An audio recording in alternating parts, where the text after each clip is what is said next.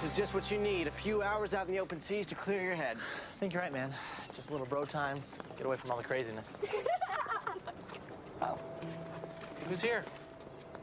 Can you believe this?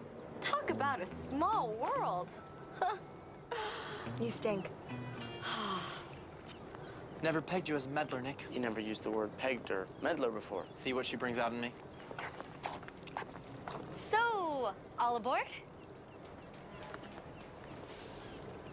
I'm out of here. Later, dude. Stella!